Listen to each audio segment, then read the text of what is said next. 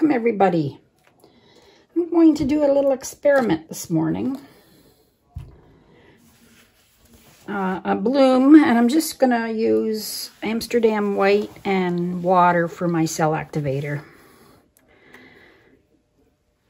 If you ever run out of your Aussie Floetrol or you don't have any, can't get it, then this is an alternative. This is a PBO blue-green. Um, I think I'll put red. These are a little thinner than I normally, I thinned them down a bit. Seems to work better if it's thinner. Well, they all have to be similar, so the paints are thinner than the white.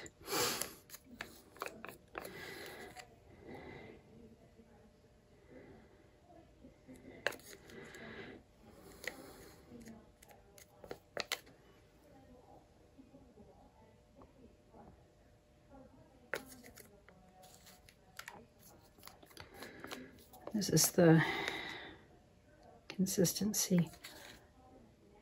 It's pretty thin. Doesn't even make a mound, it just goes flat.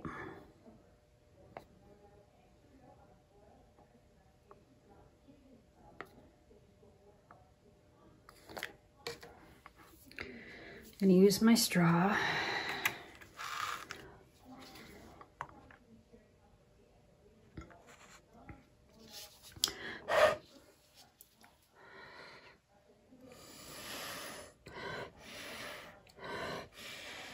Oh, I went too hard there.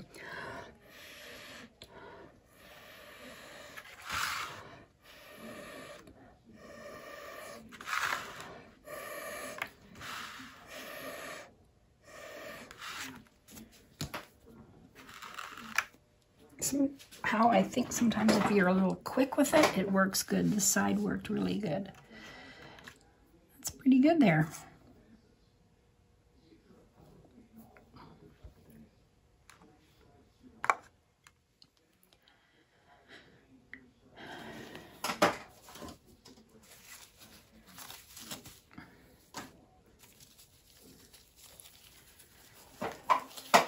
My gloves on.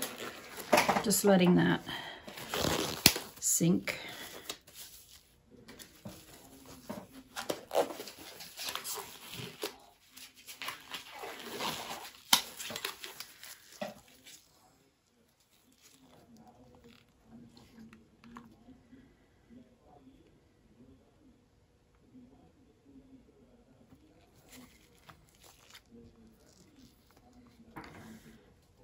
Okay, I'm gonna tip it.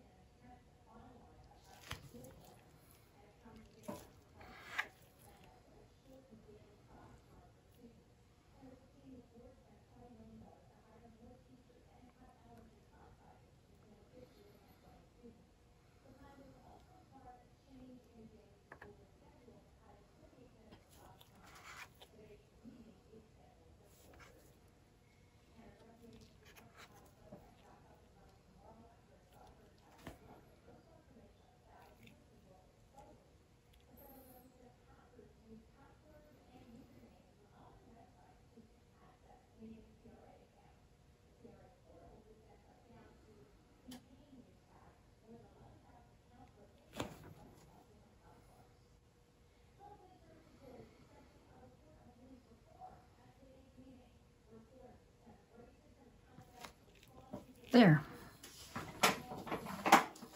I think it's pretty good for water and Amsterdam paint. So you have a choice. There you go.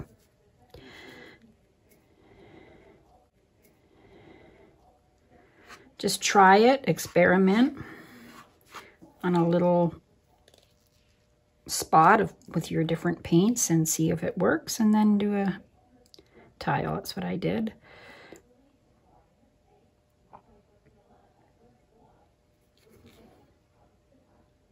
Nice lacing here and here and here and over there. The middle's a little different, but all in all, I think it worked. There you go. Give it a try. If you don't have Aussie Floetrol, you can use this.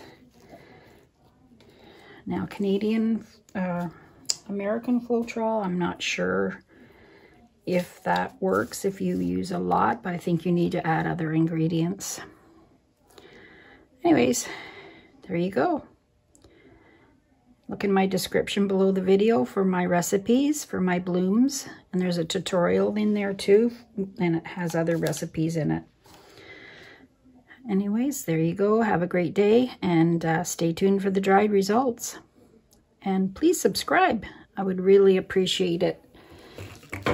Thanks for watching.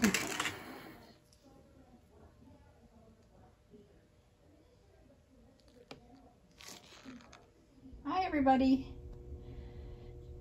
Here's the dried tile that I did with water and Amsterdam paint.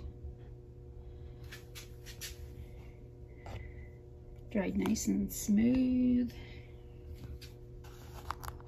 nice shine going on here.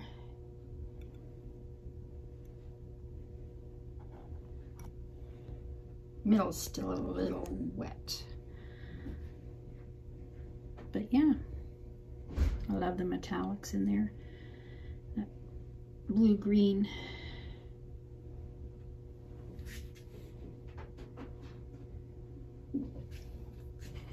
Getting a shadow.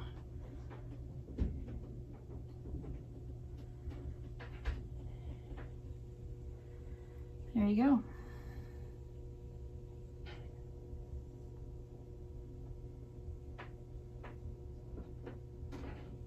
Pretty, pretty, pretty. Thanks for coming by. Have a great day. Bye-bye.